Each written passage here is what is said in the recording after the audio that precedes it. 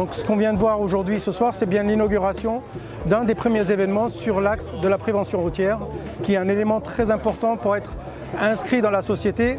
Quand on a autant d'accidents sur les routes et autant de morts sur les routes, il se doit qu'une grande entreprise comme le groupe Renault soit associée au Centre national de prévention routière pour pouvoir développer toute l'éducation, toute la prévention de manière à ce que les gens améliorent leur comportement au volant, sachent quand est-ce qu'ils sont dangereux et petit à petit corrigent les différents effets.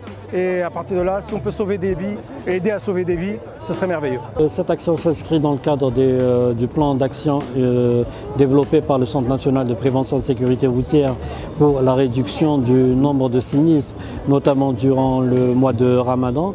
Nous nous sommes associés cette année avec Renault Algérie qui nous ont apporté un petit peu leur expertise et également un, appui logistique pour le financement de cette action cette action de proximité se traduit par des ateliers thématiques qui sont dédiés pour les enfants. Il y a un stand euh, d'éducation routière pour les enfants théorique et également une piste d'éducation routière pour tout ce qui a trait à la pratique de la conduite euh, automobile. Il y a également un stand dédié pour les jeunes qui représente près de 30% des victimes des accidents de la circulation routière.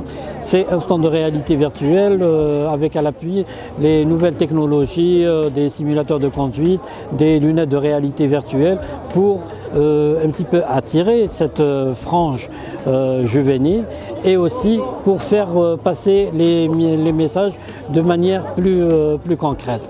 Et nous avons également réalisé des, des supports didactiques, des dépliants, des affiches, etc.